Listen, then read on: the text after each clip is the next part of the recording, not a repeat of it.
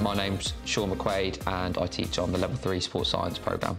The course is spread over two years and it covers a variety of different units. You will cover elements of coaching on the course and elements of fitness. However, you'll also cover elements that are purely related to sports science, such as sports psychology, nutrition, anatomy, physiology, as well as research project and research methods.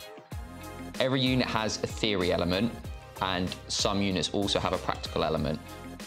The course is assessed with a mixture of assessments, practical observations and exams.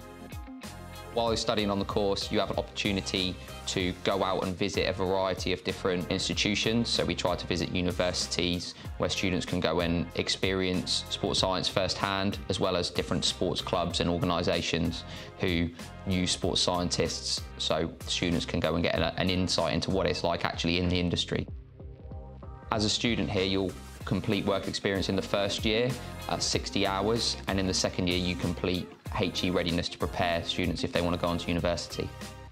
The facilities here at Sports Campus are excellent. As a student, you get full use of the gym, as well as access to sports halls, 3G Astro pitches, hockey pitches, tennis courts, and a whole lot more. My name is William Histon and I'm doing a level 3 sports science course at CWA.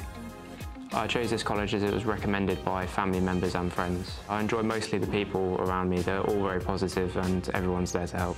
Hoping after this I can go off to university and study sports and injury and the college is helping me by suggesting open days from different universities so I can go have a look.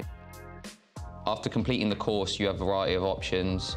Many students go on to study at university, a variety of different courses, such as a general sports science course, possibly strength and conditioning, nutrition, or a lot of students go into the workplace working in fitness, coaching, or generally within something sports related. Careers within sports science, sports research, nutrition, working within sports clubs as coaches or performance analysts. There's a range of different careers available after this course.